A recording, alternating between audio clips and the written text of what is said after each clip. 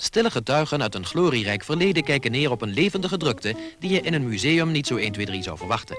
Maar we zijn hier dan ook in het Amsterdamse Tropenmuseum, dat al jarenlang een warm plekje heeft voor de jeugd. De schilderachtige bedrijvigheid die er drie zaterdagen achter elkaar letterlijk over de vloer kwam, heeft te maken met de bouw van een speciaal kindermuseum dat eind volgend jaar klaar moet zijn. Dat prettige vooruitzicht ging schuil achter een streng en kaal hek, tot de jeugd zelf werd ingeschakeld om die schutting te versieren.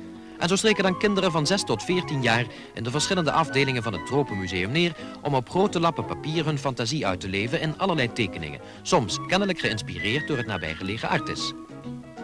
Het kale stalen hek zou opgevrolijkt worden met de op hout geplakte en uitgezaagde figuren. En daar kwam nog heel wat schilderwerk in de open lucht aan te pas.